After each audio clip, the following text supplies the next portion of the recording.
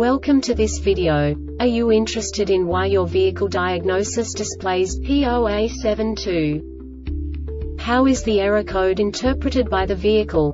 What does P0A72 mean, or how to correct this fault? Today we will find answers to these questions together. Let's do this.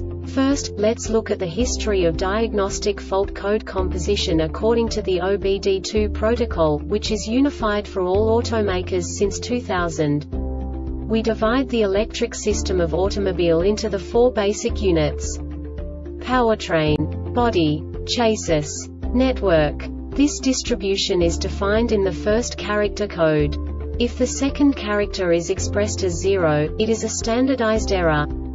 In the case of numbers 1, 2, 3 it is a more prestigious expression of the car-specific error. The third character specifies a subset of errors. The distribution shown is valid only for the standardized DTC code. Only the last two characters define the specific fault of the group. Let's not forget that such a division is valid only if the other character code is expressed by the number 0. Our website airbagreset.sk produces useful videos for you.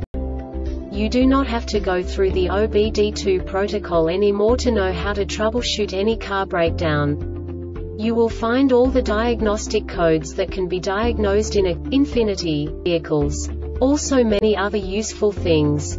The following demonstration will help you look into the world of software for car control units.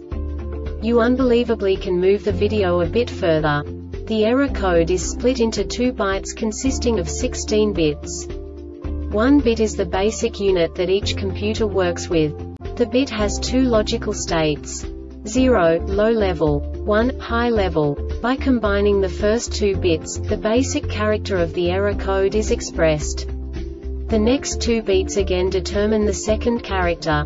The last beat styles of the first byte define the third character of the code. The second byte is composed of a combination of 8 bits. The first 4 bits determine the fourth character of the code.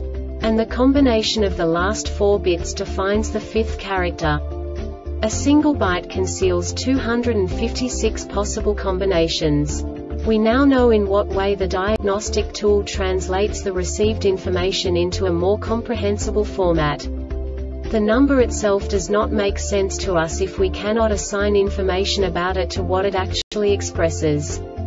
So, what does the diagnostic trouble code P0A72 interpret specifically infinity car manufacturers? The basic definition is brake pedal position sensor circuit rate of change above threshold.